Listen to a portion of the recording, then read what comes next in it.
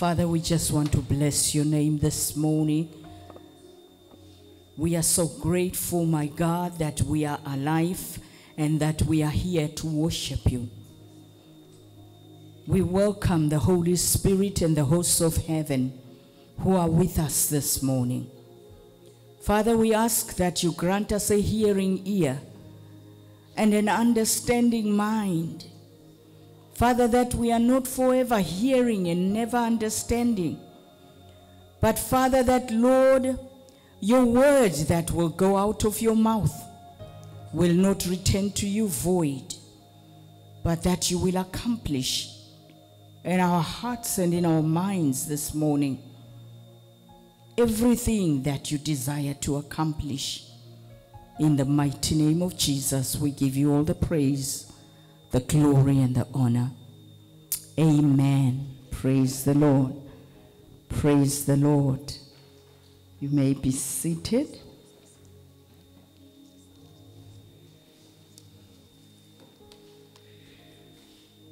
Thank you, Jesus. Thank you, Jesus. Good morning, church. Morning. How are you this morning? Praise the Lord. Hallelujah. Thank you, Jesus. You know, God is so amazing. Uh, my message today is walk by faith.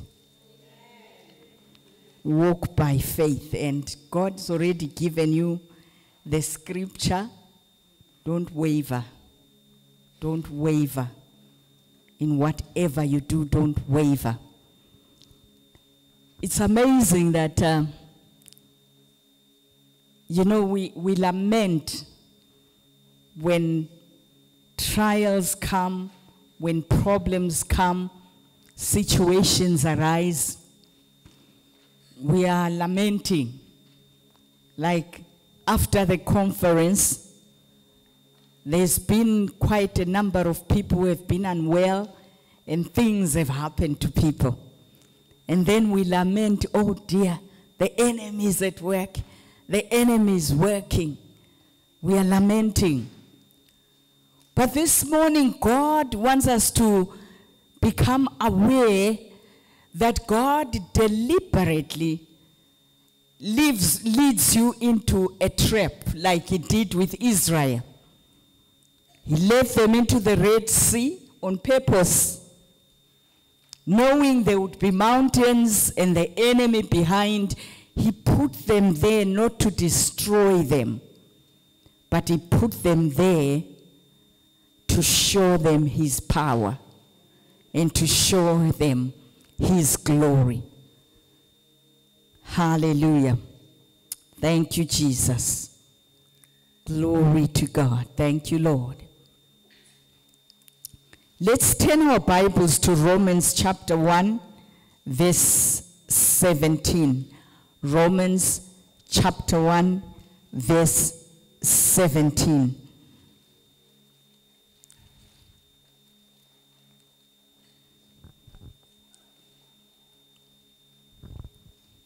We will not be distracted this morning by the disturbance with cars outside. Amen. We want to focus because the Lord has a word that is very, very important.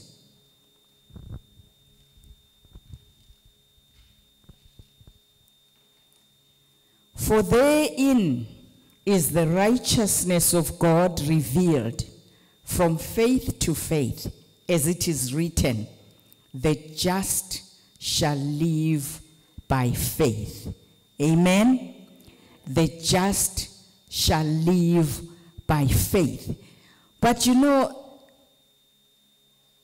I think the, the battle is in us taking the word and then putting that word into practice. That's where the struggle is. The just shall live by faith.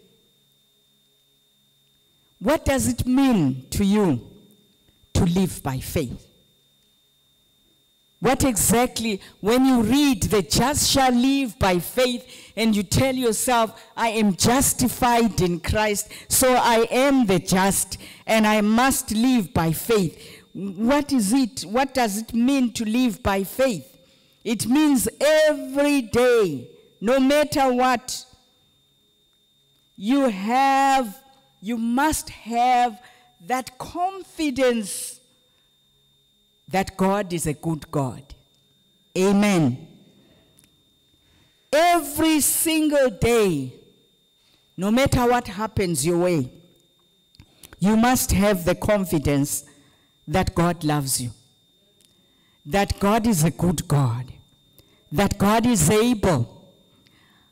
You know, as I was meditating on it, I was taken back to the day that Moses met God in the wilderness through the burning bush. God has a job for Moses to do. He wants Moses to be the deliverer of Israel. Just look at it this way Moses lived in Egypt, grew up in Egypt, in the house of Pharaoh, with the Pharaoh's magicians, with Pharaoh's wizards, with Pharaoh's witches. Moses knew the strength of witchcraft in Egypt. Moses knew the power of those magicians in Egypt. He wasn't thinking or assuming he lived there. He was in the house. He saw them function. He saw them operate. Moses had first hand knowledge about the evil in Egypt. And now God is saying, Moses, I want you to go back to Egypt and tell Pharaoh, let my people go. Now think, if it were you and you were Moses, what would come into your mind? I know those magicians in Egypt. I know the wizards. I know how powerful they are. I know what they are capable of doing. So, God, if you are sending me to go and challenge those people, you better tell me, who shall I say sent me? In other words, he's asking, who are you, God? What do you have that I can use to challenge? What are you sending me with? That's why he's asking, Who shall I say sent me? He wants to know what power is behind you, God, that can challenge the power that is in Egypt. God understood the question that Moses was asking. Why am I saying that? Because then God says, Moses, put your arm, your, your, your hand in your armpit. And he did. And then he says, Take it out. And it was leprous. Moses looked and, oh my goodness. Then he says, Put it back. Take it out again. And it was normal. Then God reinforces. Throw your rod on the ground. And suddenly, a serpent started running around. These are things Moses has seen in Egypt. That's what the magicians were doing in Egypt. So Moses is looking, and then he says, Well, grab it by the tail. And he picks it up by the tail and is back into his rod again. What am I telling you this morning? Is that God did not send a doubting Thomas to deliver people out of Egypt. God had to first deal with Moses and instill in him the hope, the faith, the belief, the understanding that God is more powerful than all the magicians of Egypt. Only when Moses came to that belief, came to that understanding, was Moses ready now to go back to Egypt. What is the problem with the church today? The problem is that we have not seen the power of God. We have not understood the ability of God, but we have seen the power of witch doctors and we understand what evil looks like in the world. And now, when we are going into the world, God says, Go back into the world and tell Satan, Let my people go. You are going back into the world, but you are trembling on the inside because you know. You know what you know. You see, I was also looking at Elisha and Gehazi the servant. The servant wakes up in the morning and looks the enemy army. He surrounded them. Hey, master, master, wake up. We are done for. We are surrounded. He's expecting the men of God.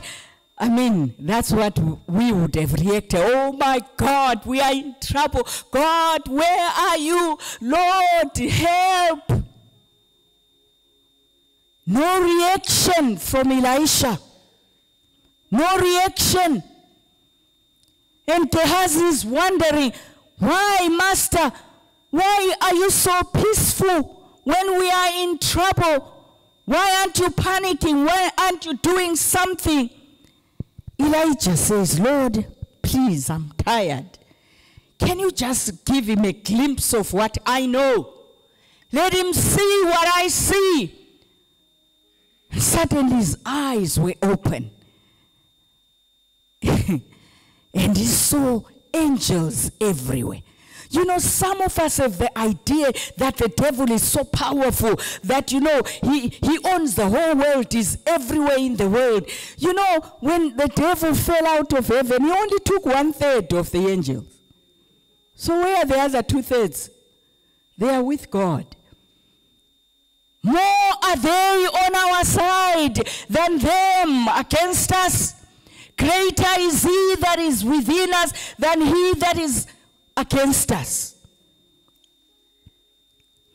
When that servant looked and saw the angels, he began to realize where the strength of the master was coming from where the boldness of the master was coming from. The Bible says the righteous are as bold as a lion.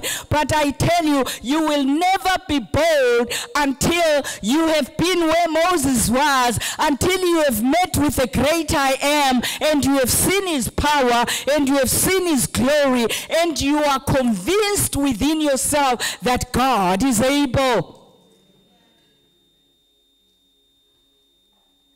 For that reason, that's why Moses was in the wilderness. That's where he met with God.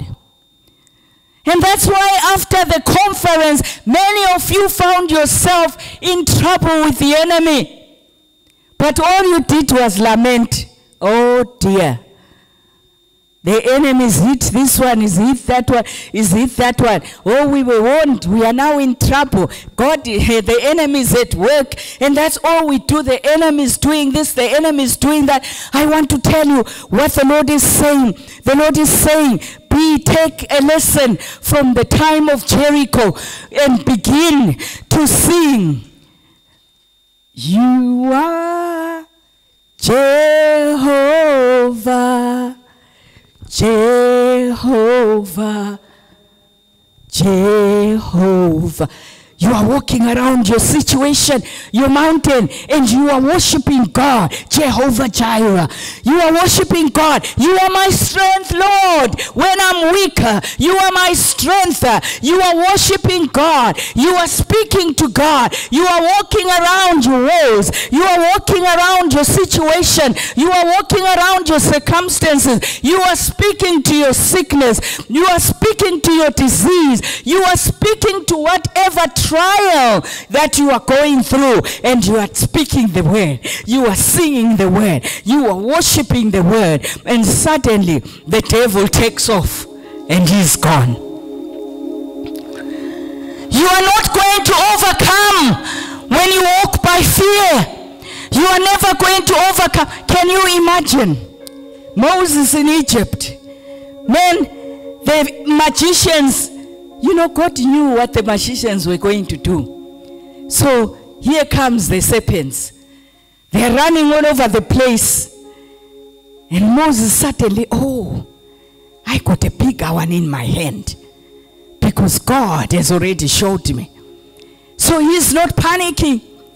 He's standing there and watching the little serpents running around, and then he puts his rod on the ground, and the big serpent begins to swallow them one by one, and they are all disappeared, gone.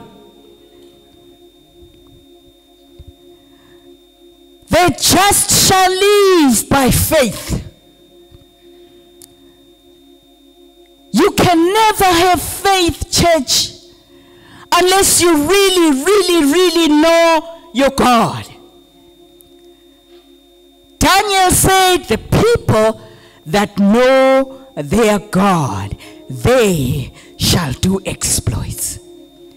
The people that know their God, when he's talking people that know, he's not talking about people that have heard of God. He's not, not talking about people that have sung songs about God. He's talking about people that have had a relationship, that have had an understanding, that have had an encounter with God, where they've seen God deliver them, where they've seen God do something in their lives. Those people will not be shaken because they know what God is able to do.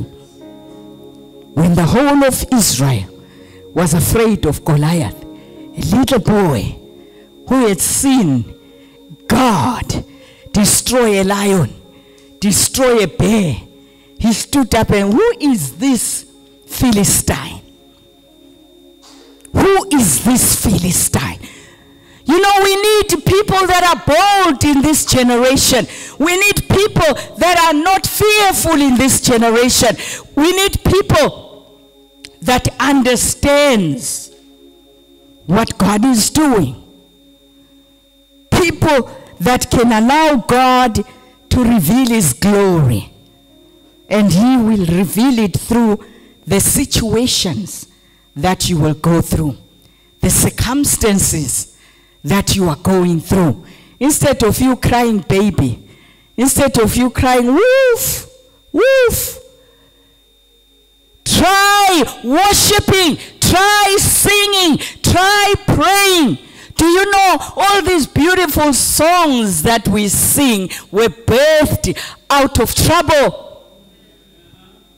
Somebody had a situation in their life. Somebody had a, a, mountain. Somebody were in a valley. Someone's life was in danger. And suddenly they stood their ground and they began to sing, Jehovah, you are my Jehovah. You are above all things. You can do all things. They you know, songs came out of their spirit in their hour of trouble.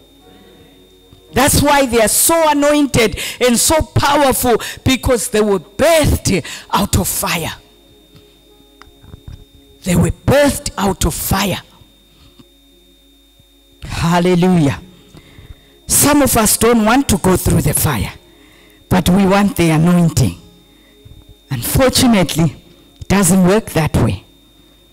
Hmm.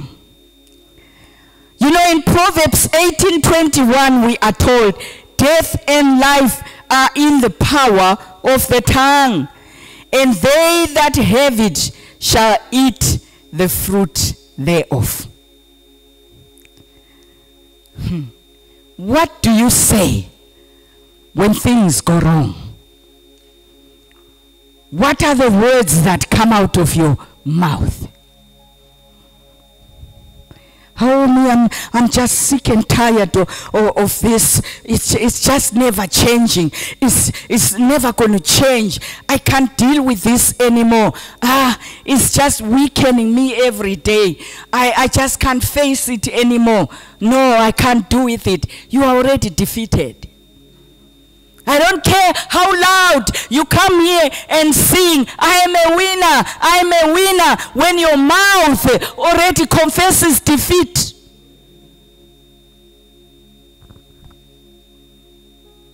When things go wrong in our lives, we have to match our language, our talk with the Word of God. Match your language with the scriptures. And you will be walking in faith. Hmm. My people perish for lack of knowledge. You know what came to mind is the story of Martha and Mary. You know, it's an amazing scene. Jesus comes into their home. Mary sits down with him. Martha rushes to the kitchen to prepare the food. You know, sometimes we are very quick to judge.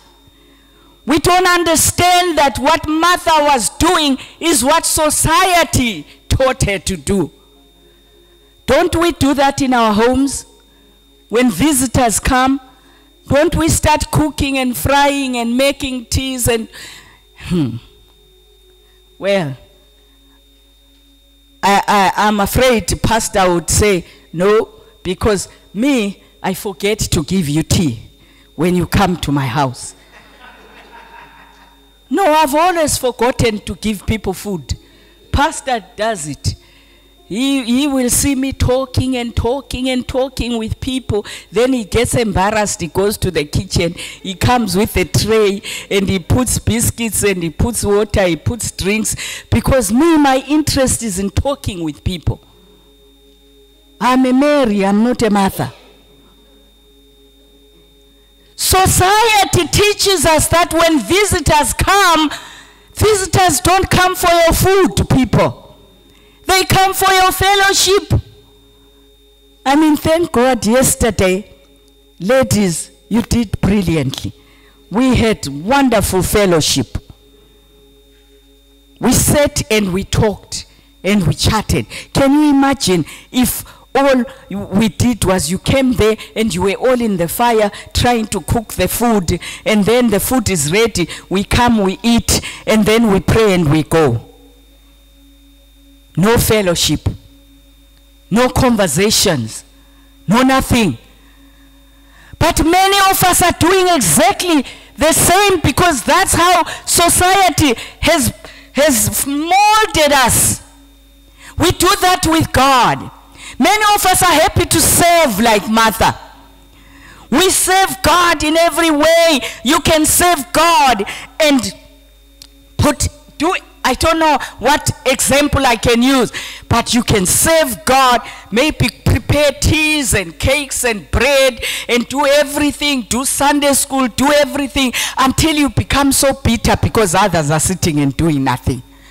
Then you start saying, well, I'm the one who's always doing the tea. I'm the one who's always bringing bread. I'm the one who's always bringing this. I'm the one who's always doing that. That's what happened to Martha. Lord, don't you care that my sister is lazy? She is doing nothing. She's leaving me to do everything. And the Lord's reply to Martha was, there's only one thing that is important in life, and Mary has chosen it. Martha didn't have the chance to get to know Jesus the way Mary did. Because Mary is asking the Lord, she wants to know everything. Lord, what do you think of this? Lord, where are you going? Lord, what are you doing? Martha is busy frying stews. Yes, the Lord needed to eat, but there's a time for everything, people. And I believe that the Marthas of this world, they are the ones who are running to do ministry without any revelation, without any understanding. They are the ones messing up there and they get bitter, they get angry, they get frustrated because their sacrifices are unrewarded.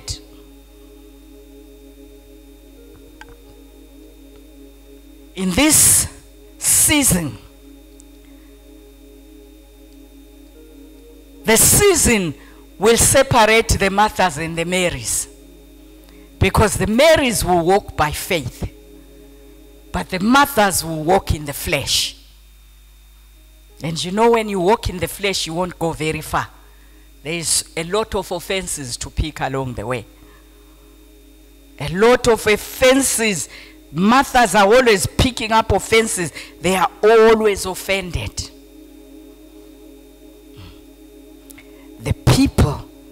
That know their God, they will do exploits. You know, someone preaching said, they were preaching in a church with 10,000 people. They said to the pastor, Pastor, what is the size of your congregation? And the pastor is looking very proudly around and say, well, we are around 10,000 or even more, a little bit less. Says, no, pastor, you got it all wrong.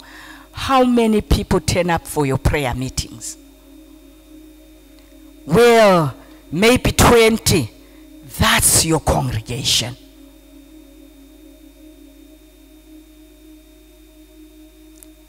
That's your congregation. The praying people in the church, they are the people that know God. They are the people that hear from God. They are the people that are walking with God. They are the people that will walk by faith. The rest of the people are bridesmaids. There is no way you can walk with God without a prayer life. You are a Martha, you are serving, but you have no fellowship with God. I hope somebody is listening. You're going to need it. This is, you know, we are not going backwards. We are moving forward fast. And where we are going is going to take a people of faith.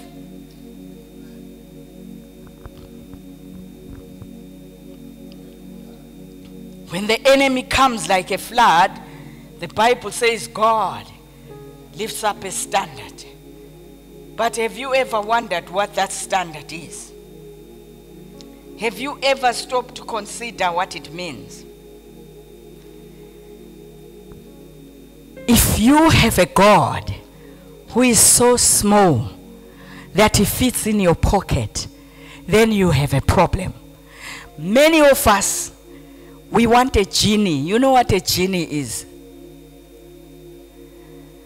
Yeah, Aladdin in a bottle. Grant me three wishes today, Lord. That's the kind of God that is in our minds. The God whose main job is to grant your wishes, whose main job is to do what you want Him to do. Children sit and don't study, don't read books, and then, Pastor, pray for me to pass my exams. There's no Aladdin. The Holy Ghost can only remind you of what you have invested. If you have read your books and you have studied and you have put your best into it, during your exam, the Lord will remind you. And all those things will come to mind and you will pass your exams. But if you sit and do nothing and then you expect God to when you know the magic wand and then you get A's, straight A's, then you are mistaken. It's not going to happen. He is not the God of Egypt where they do magic.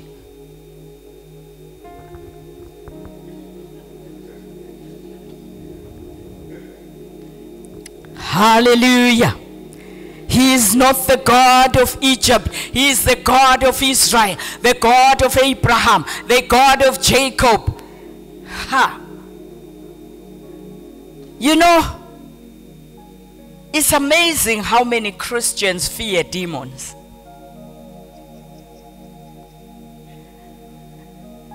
You may be laughing, but if a witch doctor walked in here, many of you you will go to the toilet very fast because you are afraid. I know a story of a young man, very zealous for the Lord, went into the village to do ministry. And a witch doctor came along and said, Young man, I love what you are saying. I'm giving my heart to the Lord. But as you can see who I am, I got my things. The young man was very zealous, praying, let's burn it. And the witch doctor brought all the stuff. They make the fire. the young man put the things on the fire and lit the fire. And the things begin to burn. And the young man is rejoicing. But there was a problem. You see, the young man had no prayer life. The young man had no relationship with God. The young man was operating out of head knowledge. He had seen other people doing that, just like the sons of Sceva. You know, when they see Paul casting out demons, they grab a demon possessed man, put him in the room, and close the door and say, In the God whom Paul preaches, we command you, demon, come out. That's what the young man was doing, people. And he went home after his successful village ministry. When he walked into the house in the lounge, the fire from the witch doctor was still there, burning with all the witch doctor's things on top of it. The young man went cuckoo. He started running around screaming. He couldn't get that fire out. There was no fire, it was all here. The magic of the witch doctor.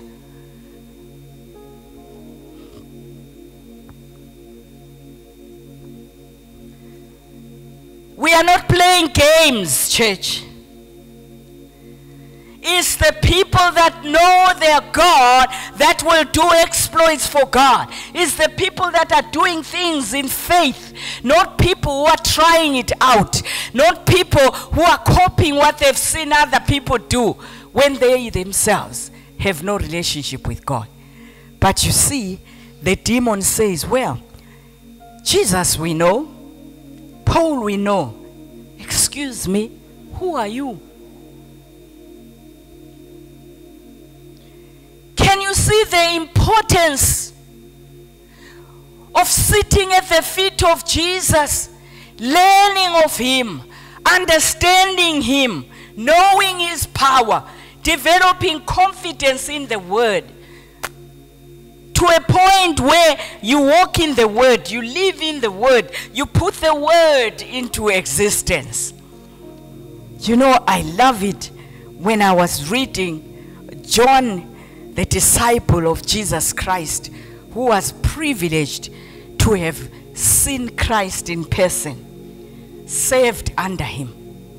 He saw Christ as a man, and yet in the Isles of Patmos, John sees Christ as the what? The Ancient of Days. He sees Christ from a different perspective. Perspective, people, we need to begin to see God from a different perspective. I want to go with you to Revelation chapter 1. I love to read what John wrote about Jesus. And every time when I do deliverance, when I read these things, my God, demons scream and shout and tremble because there's power. There's power. John says when he met Jesus, he saw him among the candlesticks. We will read the description of what Jesus looked like. But before then, in Revelation 1, verse 8, it says, Jesus said these words I am the Alpha and the Omega, says the Lord God, who is and who was and who is to come, the Almighty.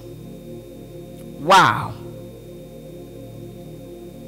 Is that not what he said to Moses? I am. You know, even when you begin to sing these songs, Alpha and Omega, when you are singing from an understanding, when you are singing from knowledge, that song comes alive. He is my Alpha, He is my Omega. That means He is my beginning, He is my in between and my end. He know He knew me before I was even created. He will be with me. He will never leave me until the day I leave this world. That's what it means. God is with us. Emmanuel.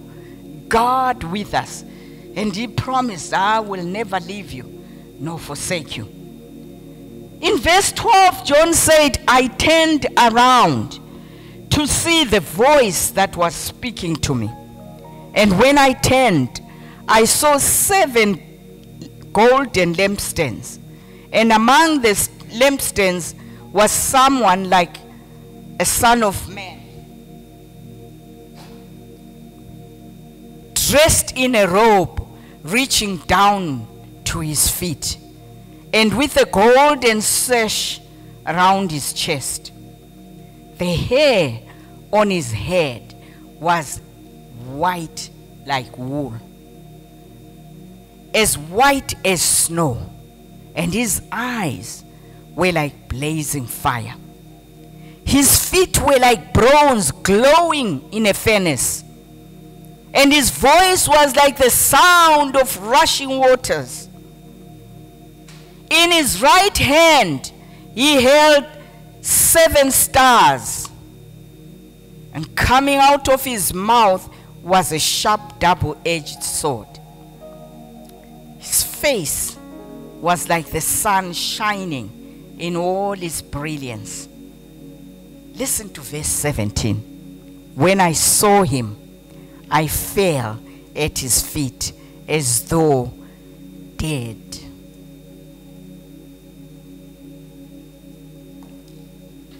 Is this the God that you believe in?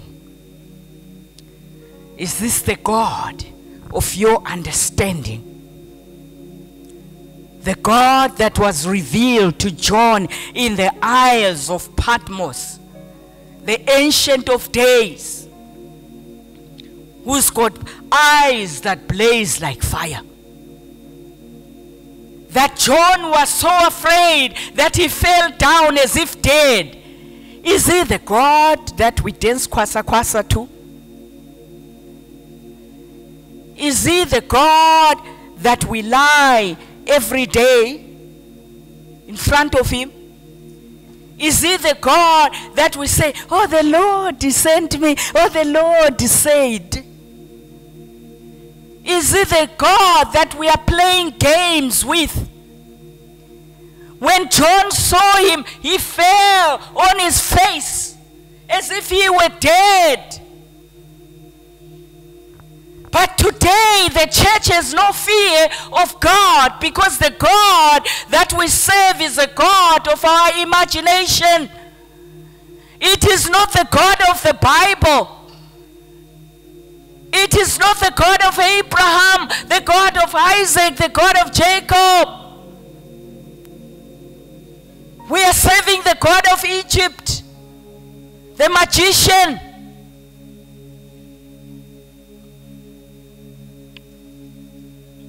Everywhere where they saw God or the angel of the Lord, the thing they tell you is how they were so weak they could not stand, how they fell on their faces before him. Even the statue of Dagon in the temple fell flat before the power of the awesome God of heaven. The people that know God, they walk in fear. Reverence, fear of who God is and what God is able to do. And when the enemy rises, they stand back and say, Wow, God is about to show me his glory. Hallelujah. God is about to show me his glory. Stand and see the glory of the Lord. He wants to show you his splendor. He wants to show you how awesome is his power. He wants to show you he is the great I am. So it's not just a song, you are the great I am. But we, we, we, we are singing the great God. But when we meet with trouble, the God is so small, he can fit in your pocket. Your God is the one who's hiding behind you when there's trouble. Then you are looking, where is God? Where is God gone? That means your God is so tiny you can't even find him when you need him. But the Bible says, in other slumbers nor sleeps. He says his eyes run to and fro, watching over the righteous, and his ears are always attentive to their cry. And then he says, Before you called, I already heard you. Before you asked, I already answered you. So why are we looking everywhere for God? Where is God? Oh, why is this happening to me? Why is God allowing this to happen to me? What is happening? It will keep happening to you until you rise up, until you stand in faith, until you begin to believe that God is able, until you begin to believe that God wants to show me His glory. Why? Because God loves you. He's not going to leave you in that position of unbelief and faithlessness. How are we supposed to fulfill the Great Commission? You know, the devil is a liar. He's, he's provided a counterfeit spirit because the church was too lazy to fast and to pray and to wait for the power to come from above. The church was too lazy to spend the time in the upper room until the Holy Ghost comes. And so, what did they do? They went for the quick fix counterfeit spirit.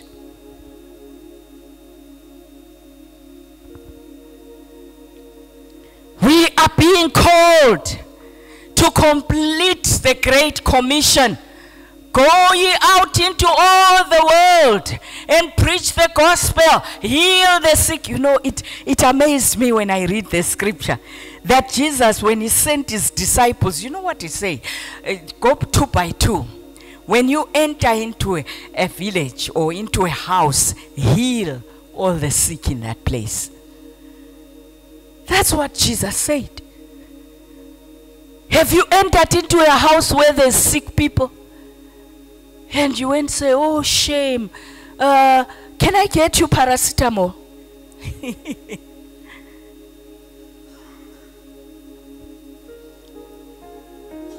can I bring you fruits or, or something?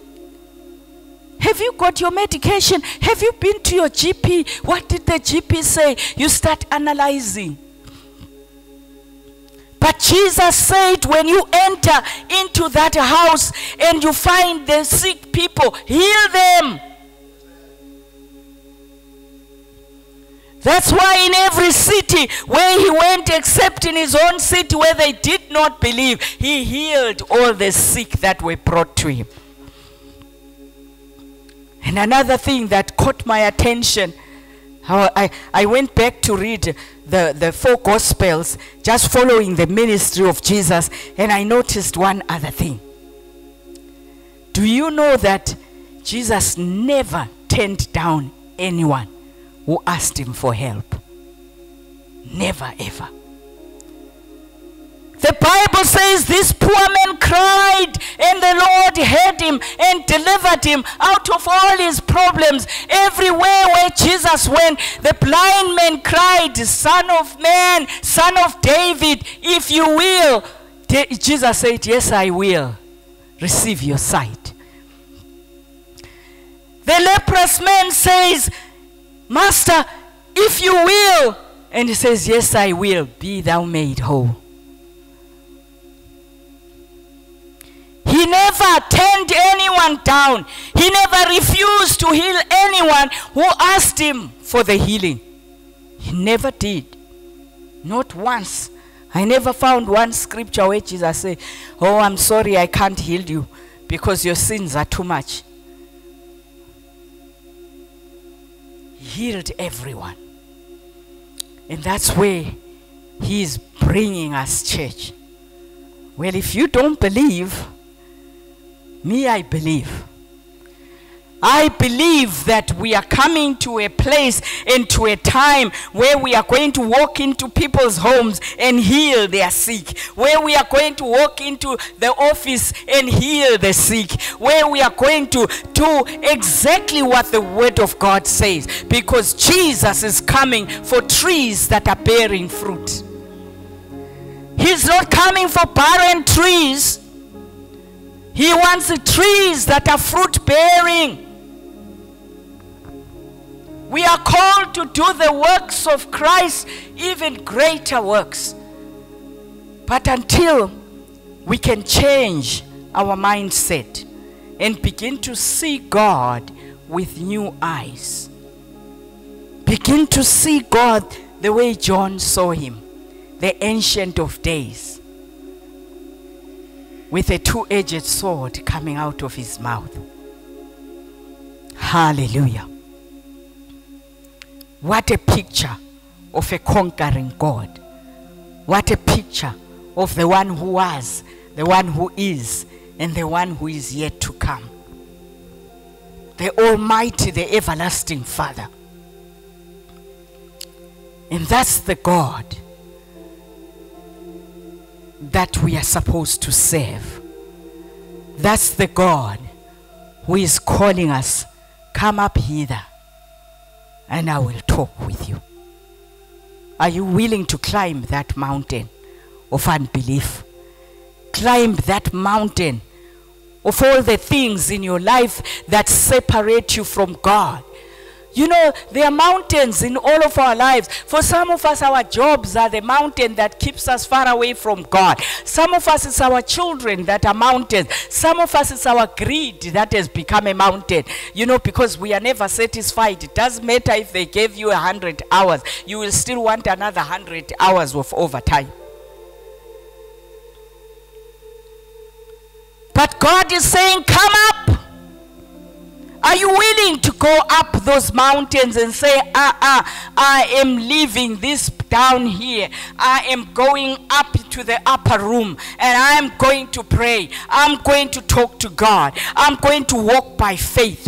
I'm going to believe every word that is written in the Bible. And I want to see the glory of God in the land of the living. I want to lay hands and see people recover. I want to rebuke and see demons coming out of people. I'm going to walk in power. You know, we say the theme for the year is what? We are walking in greater power and in greater authority. That's why God is speaking to us the way He is doing, church.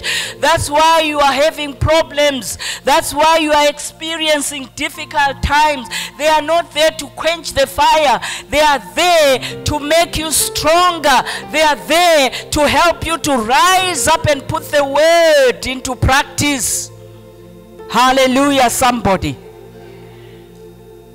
Let us not glorify our situations, but let us glorify God, the giver of life. That's why I'm closing now. The Bible says, Whoever still loves his life is not fit to be a disciple. You have to give up your life, you have to give up your rights. You have to begin to say, I belong to Jesus. And I will go where He sends me, and I will do what He tells me to do, and I will say what He asks me to say. Regardless of the price that I might have to pay, because there is a price to pay for obeying God. Hallelujah. So you got a situation in your life things are happening and you've run out of ideas, hmm. you don't know what to do anymore.